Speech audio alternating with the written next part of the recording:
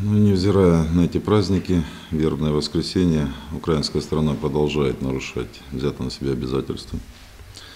Мы зафиксировали за прошедшие сутки 52 раза случаи нарушения режима тишины. При этом мы отмечаем, что противник продолжает использовать вооружение, запрещенное Минскими договоренностями.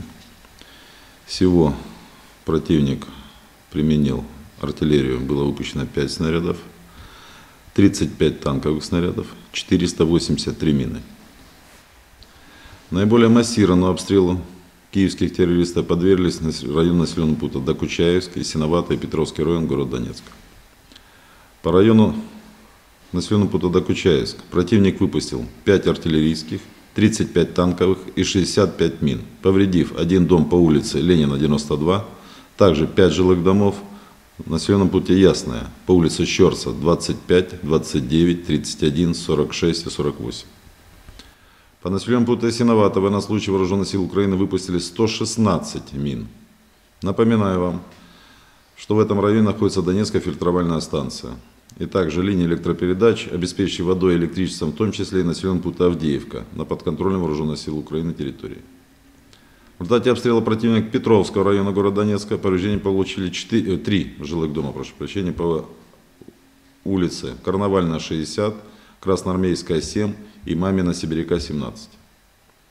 Кроме того, в результате повреждения линии электропередач без электроснабжения осталось три населенных пункта – Еленовка, Сигнальная и Луганская.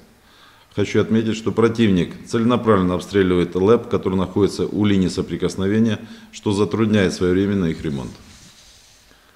От обстрела вражеской артиллерии погиб один военнослужащий Донецкой Народной Республики. Таким образом, Киев продолжает вести террористическую войну, от которой страдает в том числе и население на территории Украины. Мы продолжаем фиксировать безотратные потери среди военнослужащих Вооруженных сил Украины. Так, 7 апреля в районе населенного пункта Красногоровка, в зоне ответственного 1 батальон 92-й отдельной механизированной бригады, вследствие нарушения требований пожарной безопасности был уничтожен блиндаж – в результате пожара один военнослужащий погиб, двое получили ранения.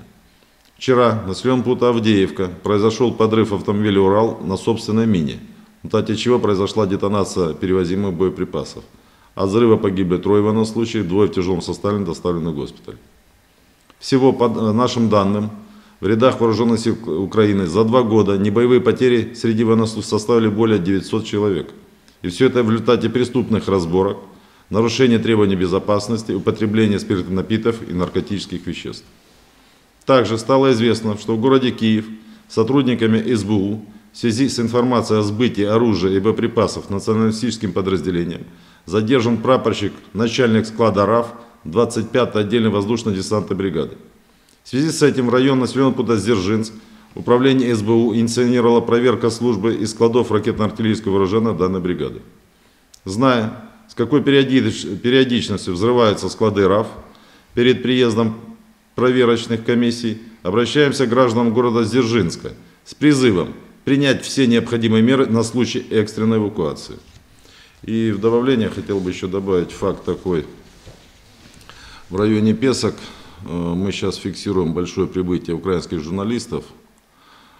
Обычно, когда такое происходит, то жди какую-то беду или провокацию с их стороны. Поэтому вот и праздник большой, а вот никак не могут утихомириться, поэтому все возможно.